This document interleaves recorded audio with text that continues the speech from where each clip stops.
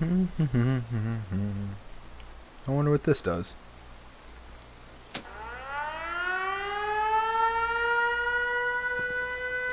Oh no.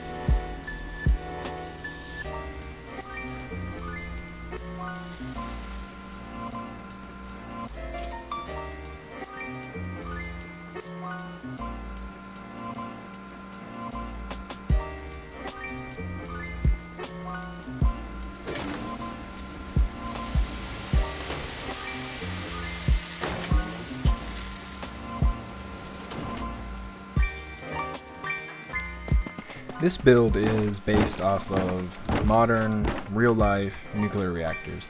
Uh, I took several parts from the Vault-Tec workshop, including the one of their uh, Vault-Tec reactors, and I'm building using that as a base to create. So a big part of my design, kind of like uh, idea for this, was that I wanted to make sure I use something that I feel at least the settlers would think would protect them against if something went wrong. And of course, it's not necessarily the case, you know, if a reactor goes bad, it, you know, wipes out a large area around it.